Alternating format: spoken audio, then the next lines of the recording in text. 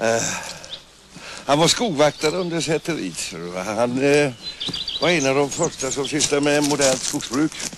Han eh, högg ner det gamla och satte det nya. Jag är med fan på att den här skogen just här har varit små jävla plant i hans stora nävar gång.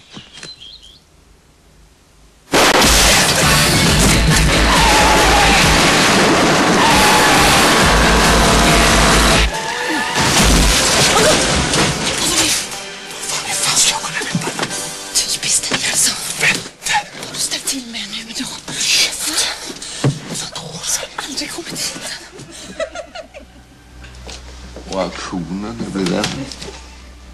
Ja, inte vet jag. Hur skulle jag kunna veta det? Är det inte du som bestämmer det?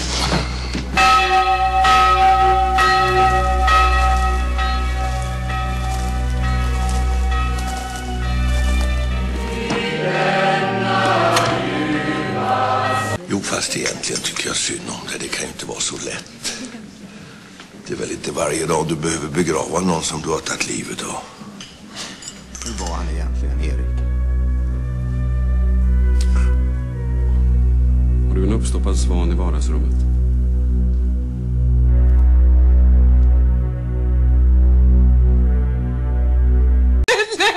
Stora banan. Har du bananer i öronen? Det skulle du ha, Ivar.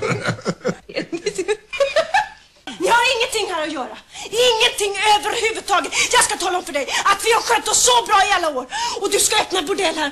Ha våra karlar springande här och knulla med den här flasken. Jag vet inte hur många gånger jag har stått utanför ICA-butiken och det har kommit ut människor och sagt du Axel du måste ta vara på din brorson där inne för han är inte riktigt som han ska i huvudet. Och jag har sagt till dem det är inget fel på den pojken. Men jag har haft fel. Du är inte som du ska. Du är ju vrickad. Du är, du är ju halvtokig. Du är kriminell.